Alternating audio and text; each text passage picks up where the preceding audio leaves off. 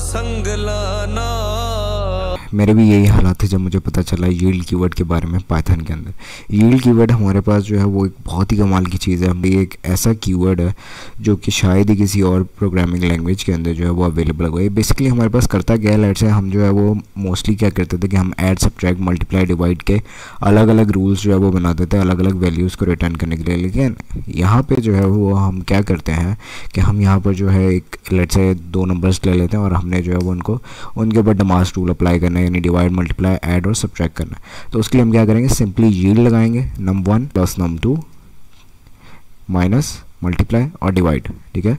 Minus multiply and divide अब yield हमारे पास क्या रहेगा? इंस्टेड ऑफ़ रिटर्न स्टेटमेंट कि वो जो एक ही चीज़ हमारे पास रिटर्न करती है और सिर्फ़ एक ही दफ़ा करती है, उसके अलावा हम कोई स्टेटमेंट जो है वो रिटर्न नहीं करवा सकते। यील्ड हमारे पास जो है वो लिस्ट ऑफ़ नंबर्स को जो है वो रिटर्न करवाता रहता है। कैसे?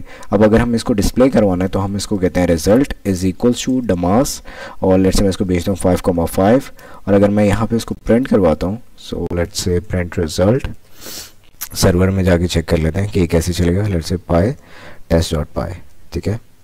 सो so, यहाँ पर जो है वो हमारे पास एक ऑब्जेक्ट रिटर्न हुआ है लेकिन इस ऑब्जेक्ट को जो है वो हमने सिंप्लीफाई कैसे करना है एट्रेट कैसे करना है उसके लिए हम सिंपली करेंगे for data in result print data ठीक है?